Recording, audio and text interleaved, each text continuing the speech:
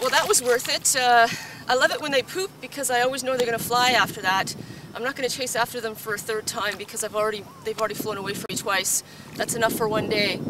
Um, unfortunately, somebody's decided to park their boat on the sandbar even before the tide was out, so there's no point in my going there. There's not going to be any eagles, and now it's about an hour later, the tide is out completely, and people and their dogs are starting to come out. So I'm going to stop for today, but uh, this is the last the last weekend in May. Uh, tomorrow, Sunday, is going to be another is better low tide than now, uh, a little bit lower, uh, and on for a few more days before it starts coming up high again. So hopefully I'll have a lot of chances like this in the sparkling sunshine to bring you what it looks like in Vancouver.